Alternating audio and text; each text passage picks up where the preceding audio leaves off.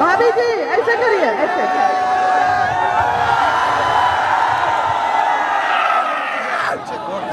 छोटे को प्यार, बड़े से प्रणाम, आशीर्वाद के लिए हम यहाँ आए हैं और छोटे को बहुत सारा प्यार और आशीर्वाद मेरी तरफ़ से, माता जी की तरफ़ से, भाभी जी की तरफ़ से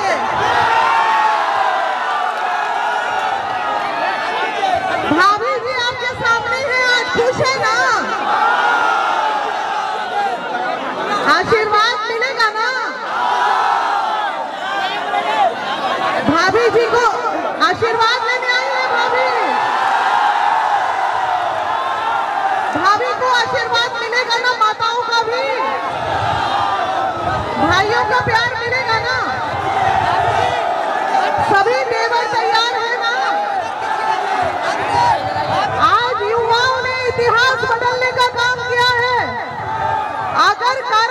की युवा चाह जाए।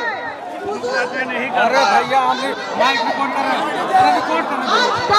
का भाग्य उदय होने से कोई नहीं रोक सकता। क्या करें?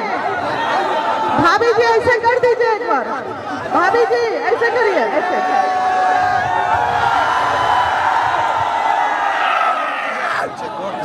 भाई देखिए ऐसा है बात करनी है आप लोगों से भाभी आई है मुँह दिखाई में आप लोगों का आशीर्वाद है काराकाट का भविष्य मांगने आई है मिलेगा ना सभी लोग अपना प्यार बरकरार रखिए न नल जल योजना है आपके रूरल एरियाज़ में। न उज्ज्वला योजना है आपके रूरल एरियाज़ में। न प्रधानमंत्री आवास योजना है आपके रूरल एरियाज़ में। हमारी काराकाट की जनता आज बहुत तकलीफ़ में है। जो संपन्न लोग हैं उन्हें तकलीफ़ नहीं पता चलती लेकिन जो नहीं है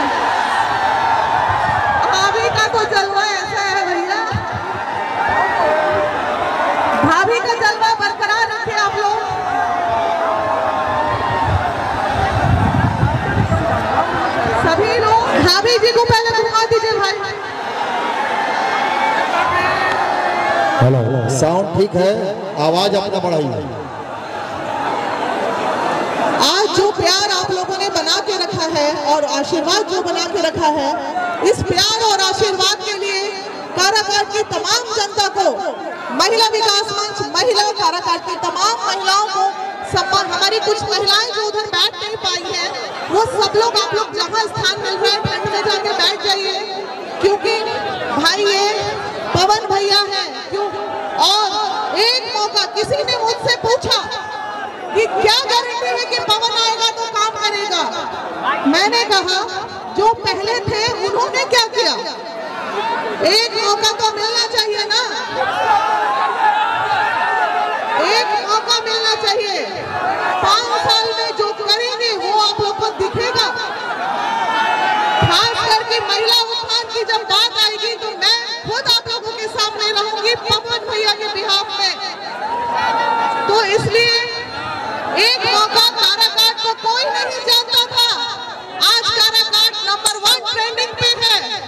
इतिहास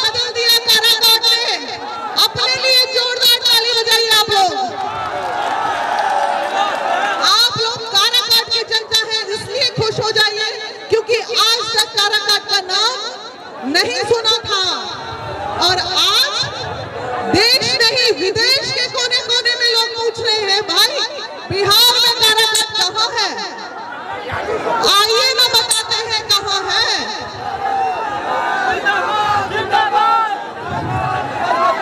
यहाँ है। सब यहाँ आएँगे। किसी ने कहा नचनिया गवनिया क्या हमने कहा तो इतने नचनिया गवनिया क्यों आ रहे हैं भैया? फेक न्यूज़ था फेक अब कोई नहीं लगता आएँगे। आप लोगों का प्यार अगर यूँ बरकरार रहा तो घबराहट और जलबलाहट, कुछ अलग ही नज़ारा होगा काराकाट के भविष्य का। हर एक मुद्दे पे बात होगी, हर एक राजनीतिक मुद्दे पे बात होगी, हर एक विकास पे बात होगी, और जब